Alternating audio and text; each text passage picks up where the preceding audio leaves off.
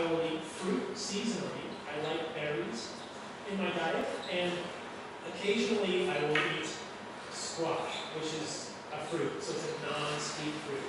Now, I structure my meals like this. I have two meals, no snacks. They're about six hours apart, so there is a time restriction to feeding them. I eat in the morning and the early afternoon. I wanted to get a sense for how Dr. Saladino sort of saw his ideas